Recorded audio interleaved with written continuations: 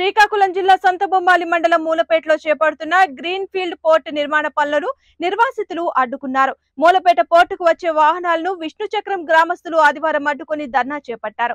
తమకు పూర్తి స్థాయిలో పరిహారం చెల్లించలేదని ఆందోళనకు దిగారు. వందల ఎకరాల్లో జీడి చెట్లకు పరిహారం చెల్లించలేదు. దీంతో పాటు కొలతలు తీసిన ఇళ్ళకు పరిహారం అందచేయలేదని మిగతా పరిహారం అందచేయకుండానే పనులు చేపట్టడంతో నిర్వాసితులు ఆగ్రహం వ్యక్తం చేశారు.